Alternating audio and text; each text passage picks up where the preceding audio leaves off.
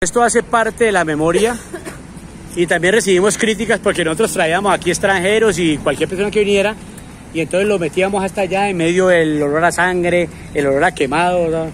Ahorita en el museo van a ver la cantidad de cosas que tenemos que recogimos de aquí, de este, de este espacio. ¿Qué pasó?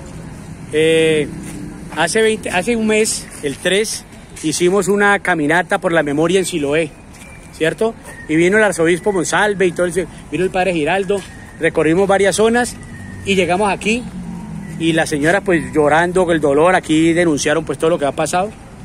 Pero nos inventamos, eh, porque nos soñamos que este espacio se convierta en un centro de cultural y memoria histórica, ¿cierto? O sea, es una deuda que tiene tanto los capitalistas como la municipalidad, el establecimiento, por la muerte de estos muchachos, sobre todo del viejo Daniel y Didier, que fueron los que murieron acá.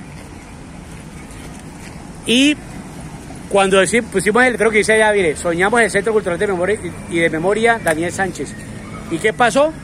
Que la franquicia de este Dollar City o los dueños del Dollar City a los ocho días nos mandaron a cerrar esto. Ya no podemos entrar allá, ¿cierto? Entonces nosotros hicimos, prácticamente les aceleramos para que ellos se tomaran otra vez su sitio, porque no querían, quieren borrar la memoria.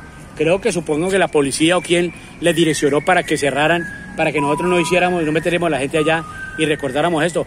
Porque el arma más eficaz y más peligrosa para, para un gobierno es que la memoria se mantenga viva, ¿cierto? Y ustedes que son artistas saben eso, porque uno a través del arte logra eh, camuflarse, en el buen sentido de la palabra, en términos artísticos y hacer las denuncias correspondientes. Entonces aquí la hacíamos en vivo y en directo con la gente entrando. Ya podemos entrar más al patio, que es lo que ustedes tienen aquí, y lo que uno pueda contar, y lo que ustedes puedan mirar en las redes de lo que pasó en este territorio. ¿Y por qué no, como que una toma artística de pintar? Ustedes, ustedes deciden qué vamos a hacer. Si, si consiguen pintura y nos venimos de ocho días y hacemos aquí un mural y el verdad con ustedes, sería genial. Si me entienden, una decisión que ustedes toman en medio de su, de su seminario, lo que están haciendo.